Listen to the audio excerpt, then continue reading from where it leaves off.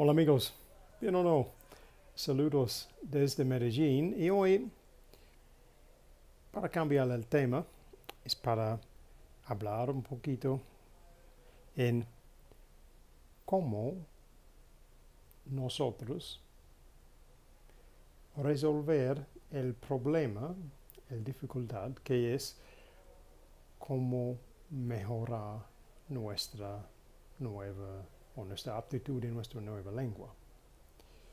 Ese es el tema de hoy. So, hello again. Um, today, change the topic a bit. I'm just going to offer some thoughts and a bit of discussion on really how we go around, or how I go about solving the problem of how do I improve my new language. Now, in my case, this is me trying to learn Spanish, but um, hopefully, you'll see from this some ideas that will help you to improve your English.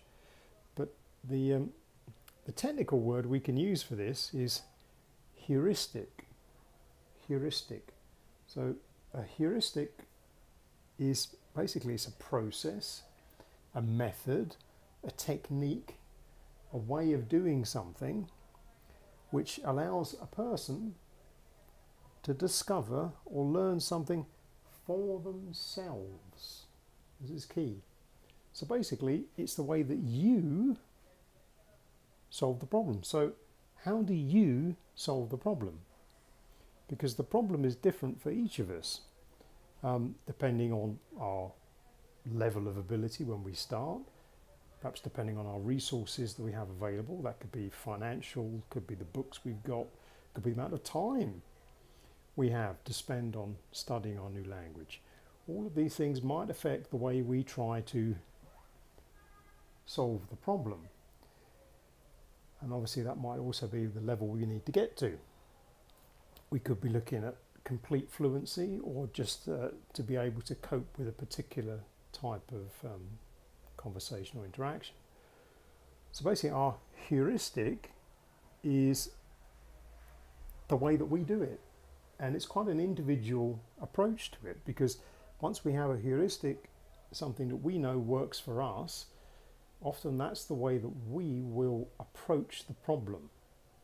So whether we divide the problem into, into pieces, we split it up, the way we look at the problem, the way we think of, okay, I'm going to do it this way, the way we prioritize our solution to it. How do we do it? Well, I've touched on this topic a bit over past videos on the channel, but I'll summarize it briefly here the way I look at it and see what you think. Déjame saber en los comentarios. But um, for me, I look at practically, because I get to practice this every day here in Medellin, I go out and talk to my neighbours, um, obviously I have to speak to them in Spanish. So I get a very quick feedback on what's the problem I need to, to get over. How bad is my Spanish? What things can't I say? What things don't I understand? And what's the situation I'm in when I'm not understanding or my explanation is not good enough? What kind of things am I doing here that I need to speak better Spanish? So the way I looked at it was, okay, well, let's put this. Let's look at the situations I, I face most commonly, um, and let's look at basic questions, basic phrases I'm going to need in each of those situations. So my heuristic, if you like, was to let's look at prioritize maybe five situations I do a lot or I encounter a lot and then in each of those maybe pick another five questions that people are commonly going to ask me and therefore my potential answers. So that way I've got the most frequently occurring things hopefully covered and outside of that because I recognize I need to get better attuned to what people are saying generally, um, I do an awful lot of listening to all sorts of things in Spanish so that my general vocabulary hopefully increases so I understand more things when I'm hearing people talk to me. Um, but I'm really just trying to prepare myself for very um, small sort of dialogues within particular situations. I know generally this is what I face during my general routine. So that's kind of my heuristic. My heuristic was to look at it, okay, what's the task I have?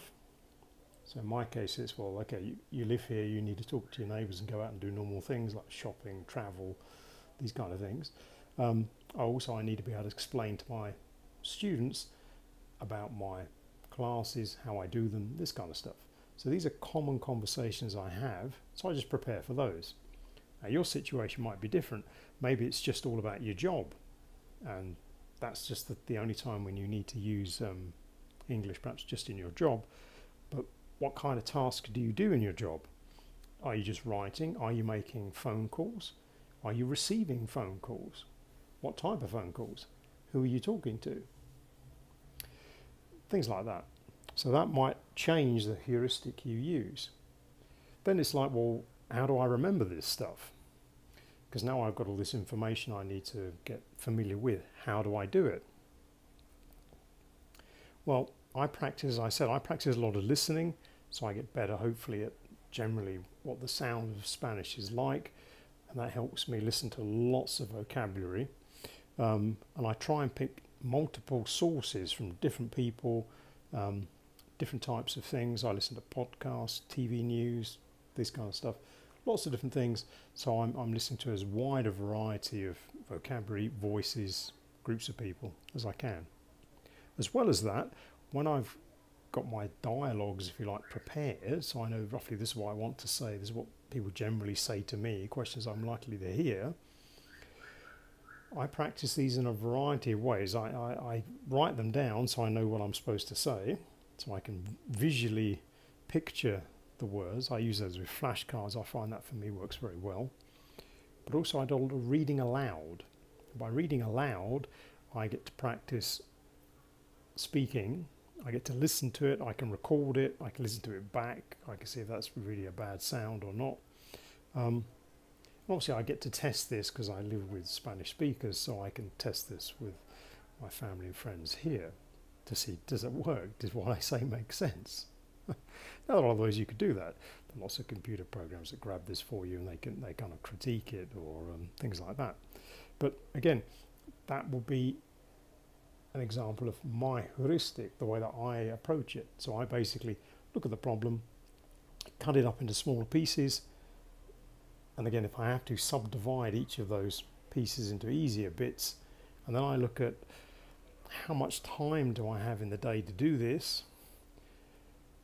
So around all the other things I'm doing, I have points in the day when it's easier for me to practice.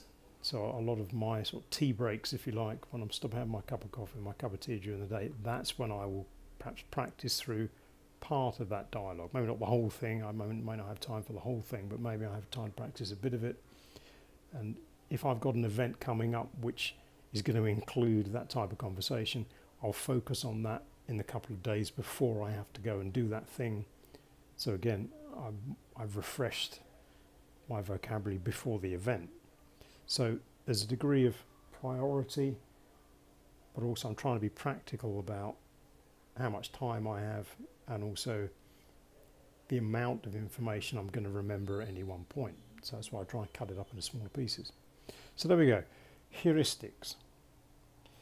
Have a think about it because the way that you practice might be a bit different to me. I mean, maybe you just um, watch videos like this on YouTube, or maybe you do you, you do other classes. Perhaps you do some other kind of uh, practice. But really, it's down to thinking about how you do it. So, how do you solve that problem? How do you help yourself to improve with the thing you're trying to do? Interesting thing to think about, yeah? So, I hope you find this one helpful. Déjame saber en los comentarios, como siempre, what is your heuristic? What do you do? How do you solve this problem? Um, maybe you have better ideas than me. But let me know. Anyway, until next time, from Medellin, it's cheerio.